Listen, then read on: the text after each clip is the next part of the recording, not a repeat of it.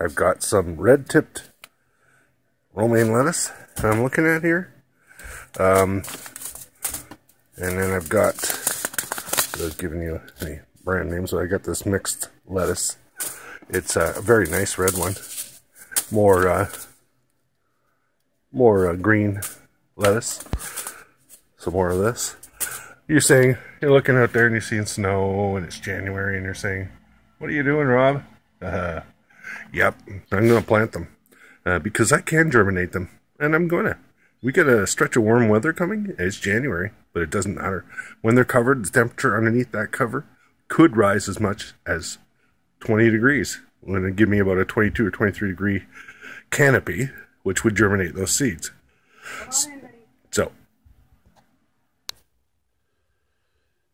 and here we are back. I got two more canopies. Uh, these are cake toppers. I've been saving them for good reason. I've used these to germinate seeds before. Usually I start in March, but hey, we got an opportunity. We got some warm weather coming up, and we are going to take advantage of this opportunity. So bear with me while I get these seeds ready. What are you doing? They said. Preparing my garden bed. Holding the camera with one hand and raking with the other. Once I get my GoPro and all that stuff, we'll all be good. That soil's loosened up. I don't need it anymore than that. So, what I kind of want to do, I want to plant in that area with that loose soil over there. So I've got this seed here. This is red lettuce. Just sprinkling that. And pretty liberally. You say, what should I do? Should I water that? Well, yes, you would at this point. But you don't water it much during the winter because obviously you'll end up with issues. So we're going to plant the other ones. I'm just going to cap this right now. Okay, so we know that's the defined area of this particular group of lettuce, the red lettuce. And I'm going to plant the, I think I'll plant the romaine.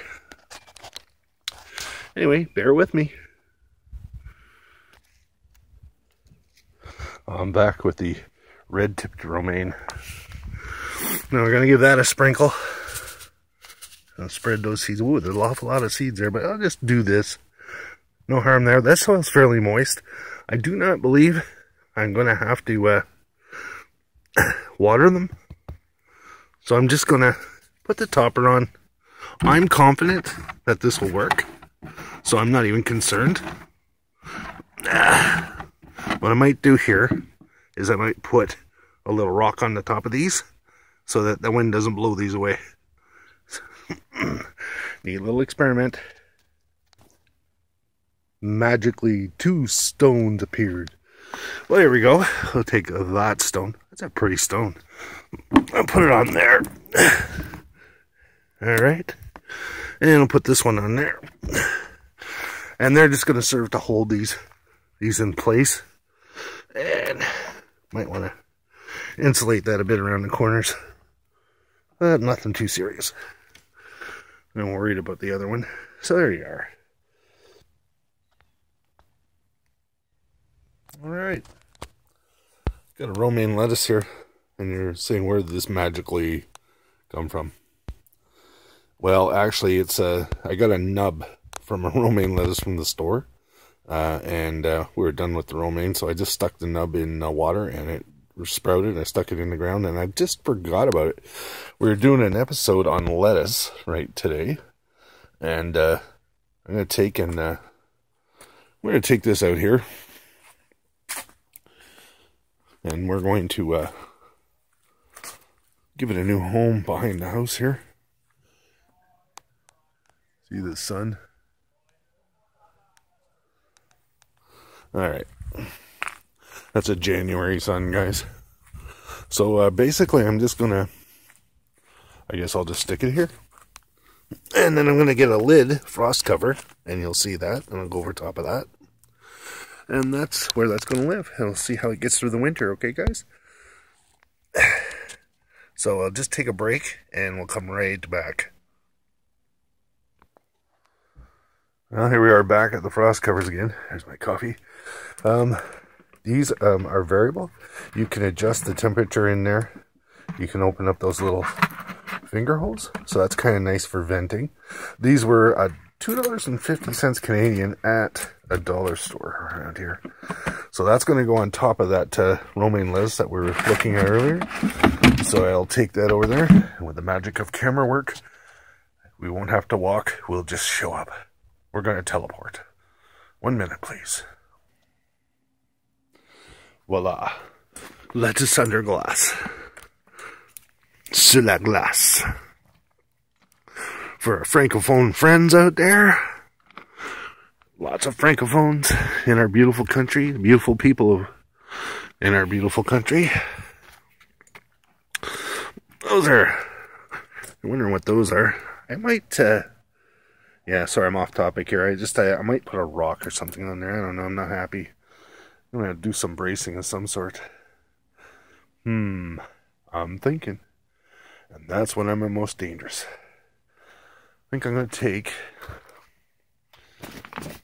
There's a rake on the ground. Not a safe place to put it.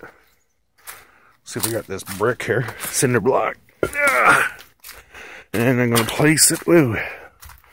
That's why you put your toys away. See on the lip there?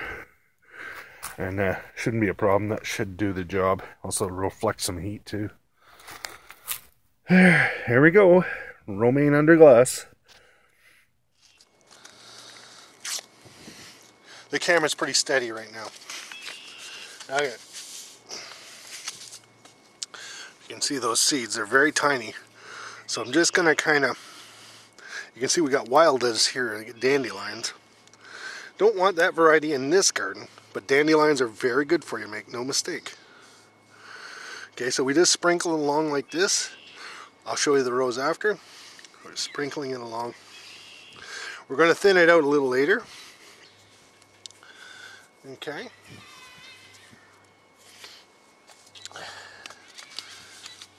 There we go. Put some more. So this here row, excuse me, don't, uh, last I saw, we don't need rocks. Okay, so we're going to cover that over lightly. Let all this, supposed to get rain in a couple of days, or actually tomorrow, but not a lot, so I'm going to probably redo this one. Next we have butter crisp. That's going in there. Butter crunch.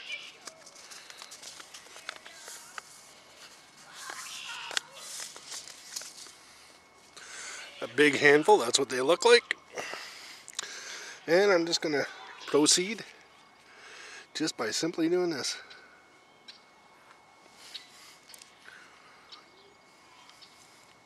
These seeds are way too small to be too fussy about. So, we're trying dig out your regular old dandelions. There we go. And that's done.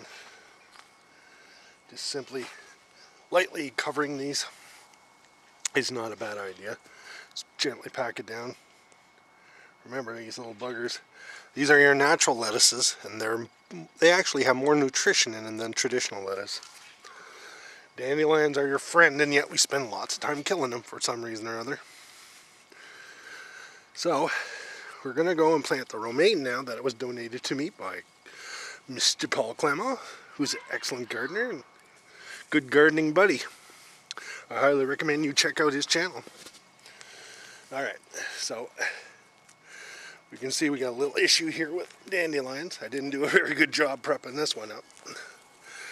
I'll probably have to do a little more digging eventually. I don't like to get too fancy. I find if you get too fancy, the fun of it is all gone. Okay. So relatively speaking, we're prepared. These are going to space out a little bit further.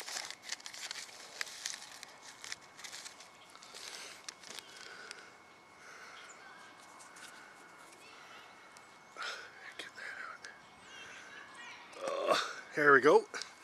You got to get those tap roots out. And then Aha, we got another one. We got that one out. They're one of the first things up in the spring. There we go. Some of these will make it and some of them won't. No big deal. We're not getting too fancy about it. I'll show you the finished product in a minute. Another dandelion. I have no issues with dandelions. I just don't want them in my garden.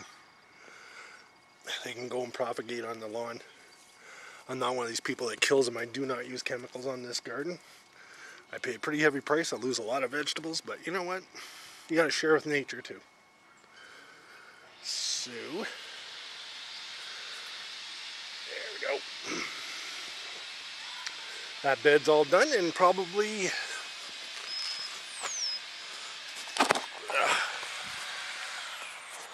There we go. So that's all packed away. Probably in about a week's time, we should have some lettuce. Bear with me. And looking to see if we got the angles right here. There. And maybe that's a little too close. We'll try that, see how that works. Okay. Oh, a little stringy here. So we're to cut right about there. About some of that. down a bit. Butter crunch. Some hot. Very yummy.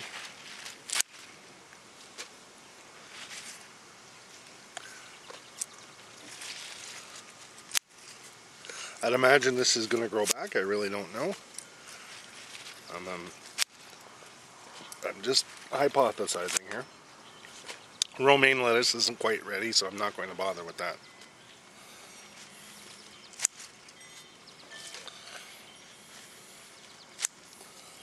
So I'm just going along the tops of them, just trimming them down. I don't have any spinach yet, but I will. I've got some growing over there. You can put dandelion greens in here too. They're a little bit on the more of the bitter side, much more nutrition in them. But if you mix them up right, you get a good ratio, it won't be so bad. You won't get that bitter taste. And then once you put salad dressing on it, or a vinaigrette, you'll find that there's no problems. I'm not going to do that today because I have an abundance of lettuce, so I'm not going to.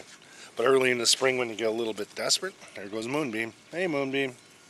She's on the peach tree.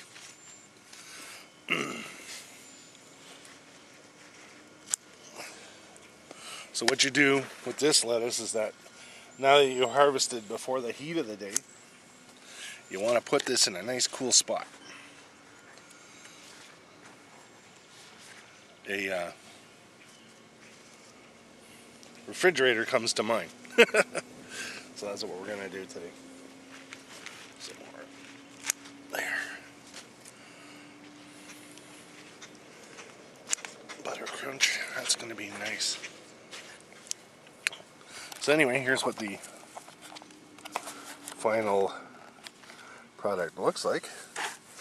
Get that out of the sun, of course, and here's the trim down. So we've had quite a trim down, so I imagine in a couple of days that'll all be back up again. I'm going to let some of this go to seed. I want some of the seed.